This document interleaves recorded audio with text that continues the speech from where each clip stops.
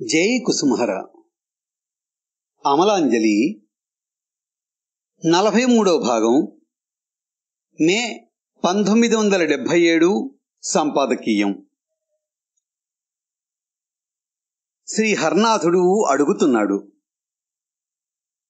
మీరు ఎన్నో ఆనందాలు పొందాలని వచ్చారు.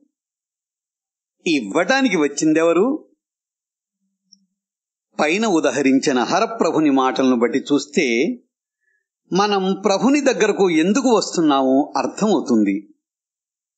ఎంతసేపు ధనం కావాలని ఆరోగ్యం కావాలని సంతానం కావాలని ఇంకా ఏవేవో కావాలని కోరుతున్నాం. మనం మాయా పరిధిలో ఉన్నాం. ఇందులోనే ఆనందాలు చూచుకోవాలని ఈ ఆనందాలు ప్రసాదించమని ప్రభుని వేడుకుంటున్నాం. అంటే బావిలో ఉన్న కప్పస్థితి మనది. మన ప్రభువు మాయాతీతుడు.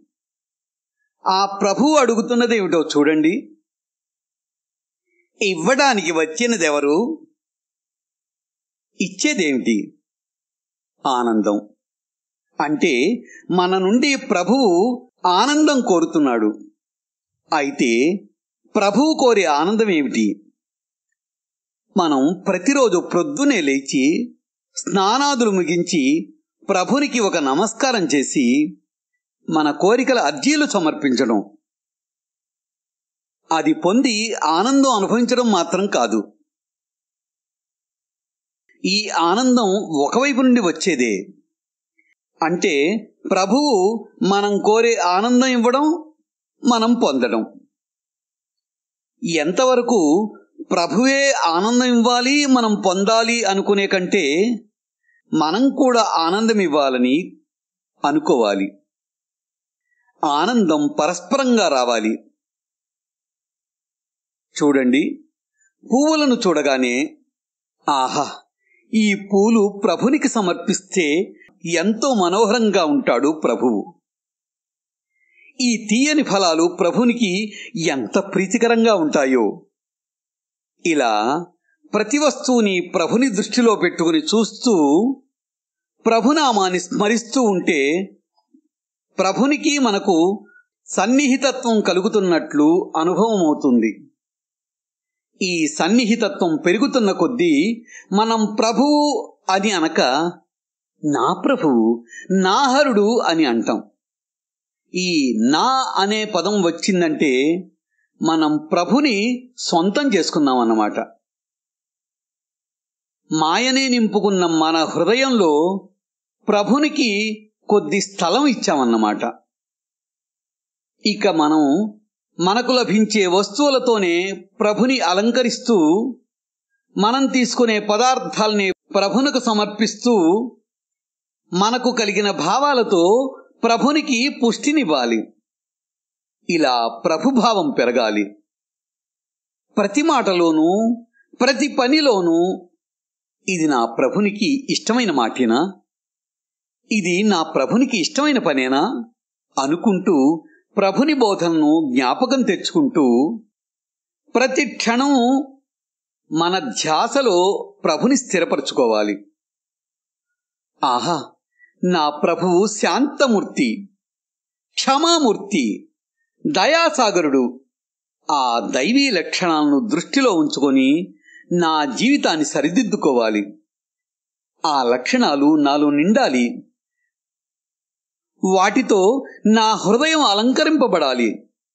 నా ప్రభువు ఈ హృదయంలో హాయిగా ఉండాలి. ప్రాపంచిక వాసన కూడా ఇందులోకి రాకూడదు అని తలవాలి. మన ప్రభువు మనం తనను ఏ రూపంగా ఊహిస్తే ఆ రూపంగానే దరిచేరి ఆనందమిస్తూ ఉంటాడు. మనలో ప్రభుభావం పెరుగుతున్న కొద్దీ మన భావలోకంలో మన హృదయ సౌధంలో తానే అధిపతియే కూర్చుంటాడు. ఇక ఏమాత్రంగానైనా ఉన్న మన అస్తిత్వాన్ని నిశ్శేషం చేస్తాడు. ఆ శూన్య హృదయంలో ప్రభువే ఆనందదాత భోక్త అవుతాడు. అనగా తానే ఆనందిస్తాడు తానే అనుభవిస్తాడు. ఈ స్థితిని మన నుండి కోరుతున్నాడు ప్రభువు. మరో శీర్షిక దీనదయాళు శ్రీహరనాథ.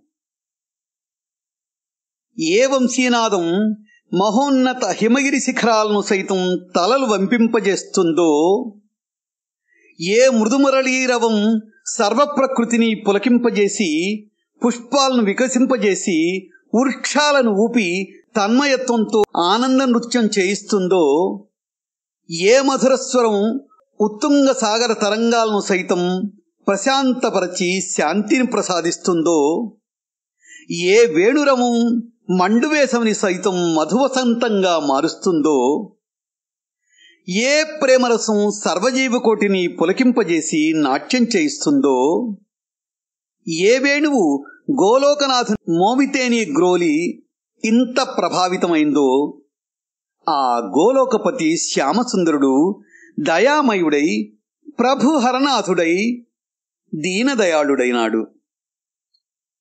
ఆ దీనదయాళుని దీనత్వం ముట్టిపడే ఆ నేత్రాలను చూడండి. అర్ధనిమీలితమైన ఆ రెండు నేత్రాలలోని పాపలు ఈ విశాల విశ్వాన్ని ప్రతిబింబిస్తూ ఏదో ఒక అవ్యక్త భావాన్ని వ్యక్తపరుస్తూ ఒక ఉన్నతమైన లక్ష్యం కొరకు జీవకోటిని నడిపించడానికి ప్రయత్నిస్తూ ఏంచాడుతున్నాయి ప్రేమ అనే సత్యాన్ని ప్రబోధిస్తున్నాయి. సజల నేత్రాలే మన సర్వస్వమని చాటుతున్నాయి. ఇక్కడ భాషకు తావులేదు అయినప్పటికీ ఆ దీన నేత్రాలు ఎట్టి వియోగ గాథలను స్పష్టపరుస్తున్నాయో ఊహించండి. ఆ బాధకు మూల కారణమైన ప్రేమ మన హృదయాలలో ఏర్పరిచిన గాయమే మనకు మధురాతి మధురమైన అనుభూతి. అది నిజమైన ప్రేమ? విమలోపనిషత్ ప్రసూనాలు ప్రభునకు సమర్పించిన ఈ దేహం ఈ అవయవాలు అనగా కళ్ళు ముక్కు చెవులు నోరు మొదలైనవన్నీ పరిశుద్ధ ఆనందం కోసమే ఉన్నాయి. ప్రభువు సర్వవ్యాపి. అయినప్పటికీ కండ్లతో ప్రభుని దర్శిస్తూ ఉంటే అమితమైన ఆనందం కలుగుతుంది.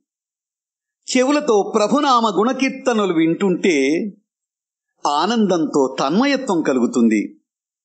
అలాగే నోటితో ప్రభునామం గానం చేస్తుంటే దేహం పులకరిస్తుంది. ఈ తర్క వితర్కాలు చేసే మనసు వీటన్నిటితో సహా ఈ దేహావయవాలతో సహా ప్రభునిలో లీనమవుతుంది. జై కుసుమహర.